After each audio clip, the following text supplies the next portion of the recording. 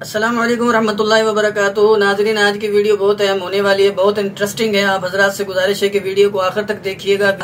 नाजरीन, आज की वीडियो के अंदर आप सनील सेठी को देखेंगे कि वो किस तरह जो है अल्लाह के बारे में कहते हैं और क्या अल्फाज बोलते हैं और वो कहते हैं कि मुझे अल्लाह अकबर कहने से जो है एनर्जी मिलती है, ताकत मिलती है। मैं ये कहता हूँ और कहूँगा, मुझे इसकी कोई परवाह नहीं कि कोई क्या कहेगा। तो नाजरीन डॉक्टर जाकर नाइक से भी जानेंगे कि डॉक्टर जाकर नायक जो है अल्लाह के बारे में क्या कहते हैं। आप हजरात से गुजारिश है कि वीडियो को आखिर तक देखिएगा। चलिए वीडियो शुरू करते हैं।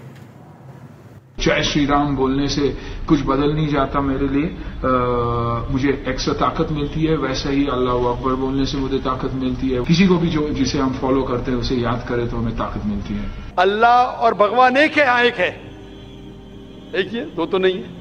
अगर कहेंगे कि अल्लाह और भगवान यकसा है तो सवाल दूसरा रुख ले लेता है। इसका जवाब, अगर आप पूछना चाहते हैं कि अल्लाह और भगवान एक है तो बेशक एक है।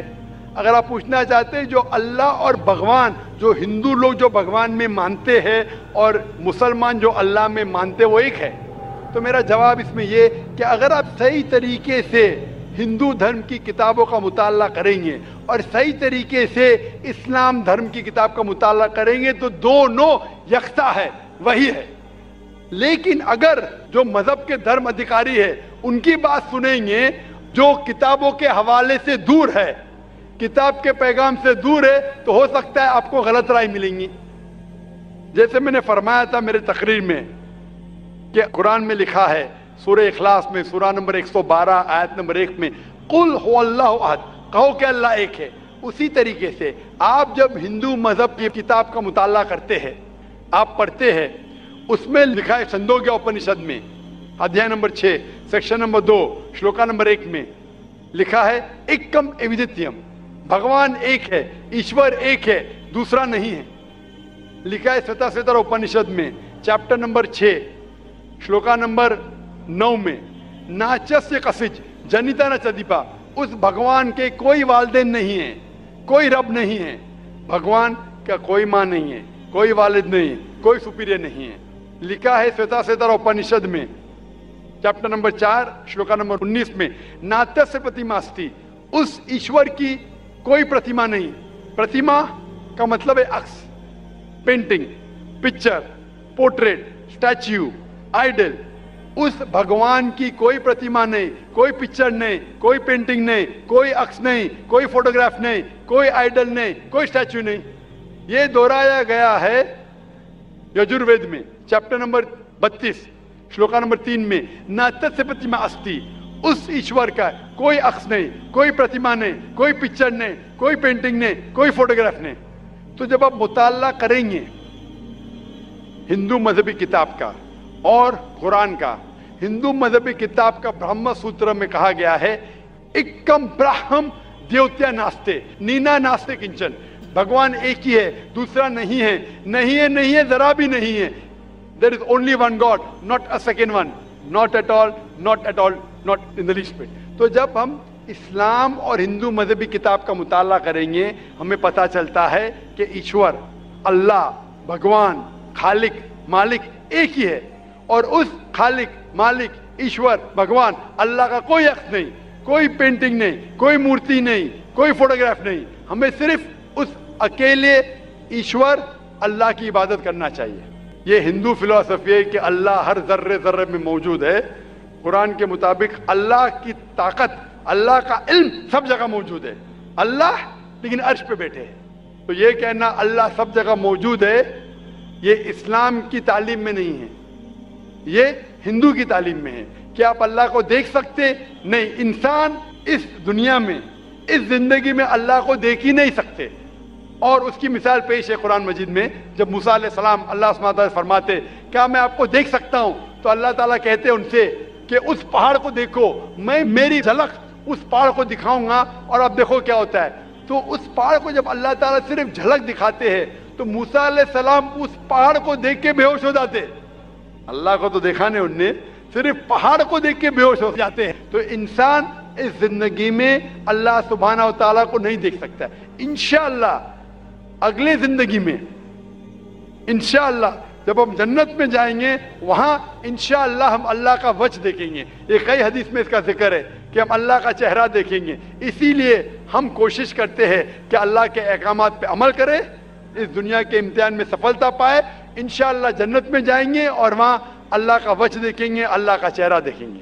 सबसे पहले मैं ये आपसे कहना चाहता हूँ कि अल्लाह के रसूल फरमाते हैं कि हर बच्चा जब पैदा होता है, वो दीनुल फित्र में पैदा होता है। हर बच्चा, चाहे वो हिंदू के घर में पैदा हो, या ईसाई के घर में, या यहूदी के घर में, जब बच्चा पैदा होता है वो दिनुल फित्र में पैदा होता है मतलब वो मुस्लिम जैसा पैदा होता है।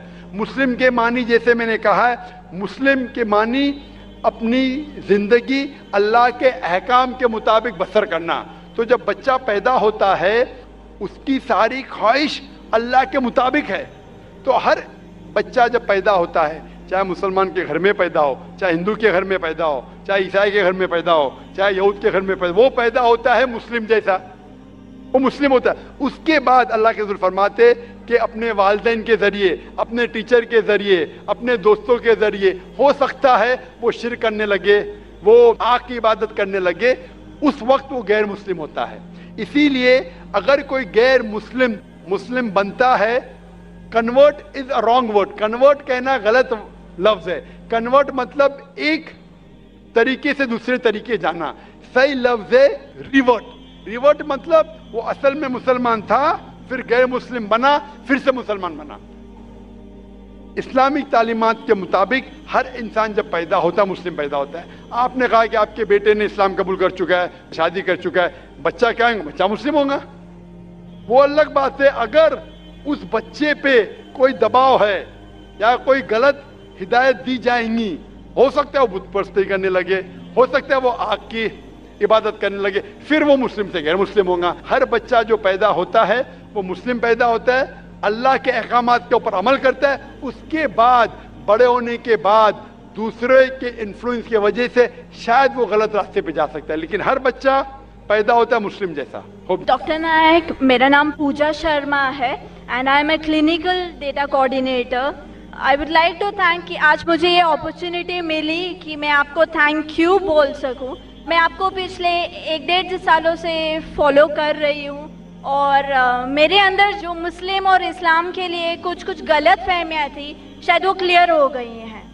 एंड जैसे आपने कहा आपने कुरान की कई आयतों के बारे में कहा मैं सोचती हूँ क्योंकि गीता हो कुरान हो बाइबल हो कोई भी हो सब में एक ही बात कॉमन लिखी है कि आप अपने फ़र्ज़ करते जाओ।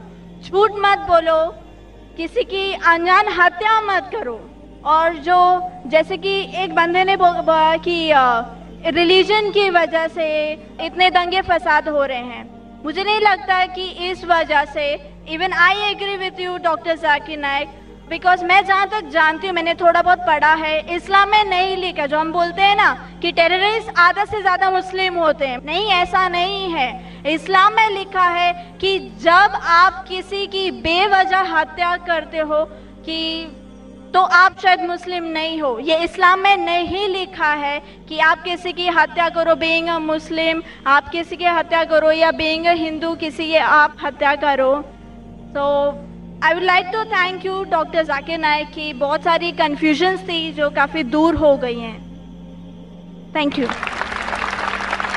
जजाकल्ला बहन ने कहा कि वो तकरीबन डेढ़ साल से मैं तकरीर सुन रही है और उन्हें यकीन हो गया है कि अलहमदिल्ला इस्लाम एक सही मज़हब है और नफ़रत नहीं सिखाता, किसी का बिना वजह कत्ल नहीं करना सिखाता। है और इन मैं दुआ करूँगा अल्लाह सुबहान ताली से, बहन, कि आप इन कुरान मजिद का तर्जुमा पढ़िए।